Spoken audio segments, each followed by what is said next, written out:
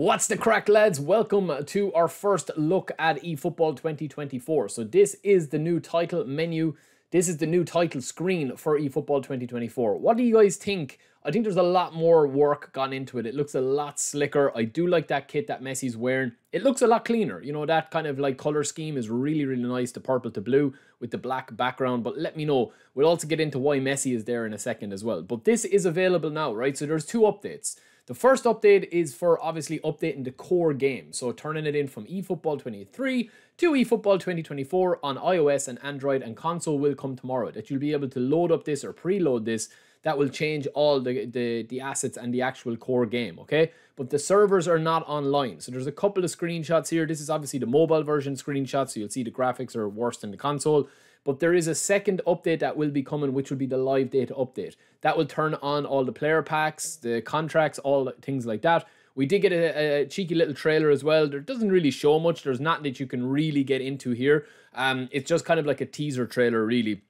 Gameplay, it's even, there's no real fluid gameplay clips that you can actually see. Yeah, this looks different or that looks more fluid the gameplay clips are way too short. It's mostly like little dribbles like that. It looks pretty okay, um, but we will get into that. But yeah, as I said, Messi, it looks like is going to be the ambassador, right? Now, I'm going to show you something at the end of this as well that Messi is going to have a special edition ambassador pack. I'll show you the screen towards the end of the video. He is covered everywhere on this. So it is cool that Messi is still the ambassador. Um, he's on the title screen as well, as you see there.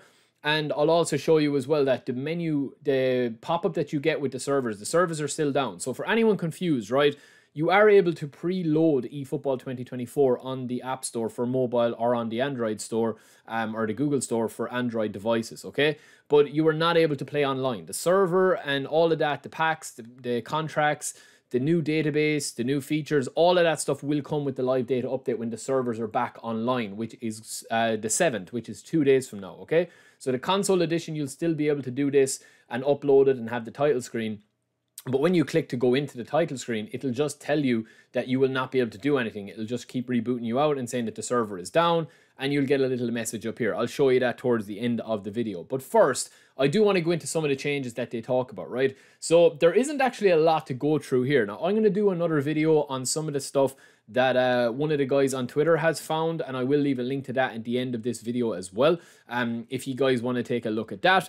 But you will see here that it's just pretty much the same thing. Signing players, special player list, standard player list, manager list, playing matches, uh, playing against the AI. There isn't really anything there that's going to like pop out at you. Um, put your strength to the test in user matches. So that's obviously eFootball League. They haven't rebranded that. As I have been telling you guys forever, the people saying that co-op was getting a massive, massive update, the people saying that Master League and edit mode, listen, do not listen to leaks or rumors.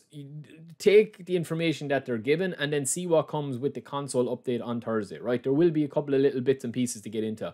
But they do talk about player development here, and there's a big paragraph on it. But they really are just explaining it again, and they say that you can actually use level training programs which can be attained uh, obtained as event rewards. So that's kind of a little switch up um, there, which we can we can kind of see when the game actually fully launches how exactly that's going to work, right?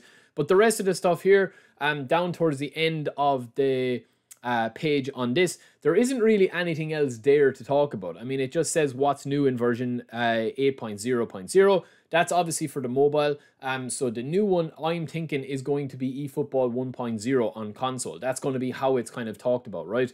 and they just tell you what's actually new in this version. So don't worry too much about it being version 8.0.0, whatever.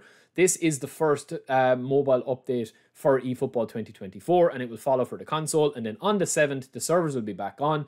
You'll be able to play online, the packs, um, the new co- coin stuff, the new premium content, match pass, all of that. So they talk about that the team playstyle level is gone, and then they talk about a couple of little changes to the UI, such as base team settings now placed in game plan, and they just talk about updated face models, players, thumbnails, commentary, all that sort of stuff, right? So there isn't a massive amount in it to speak about. Now, Durandil, this guy is on Twitter. Um, he has actually showed a preview of this. Uh, on his Twitter account. This is his stuff, so I've just had a look at his Twitter and he had it up here. So this is just a feed of his Twitter.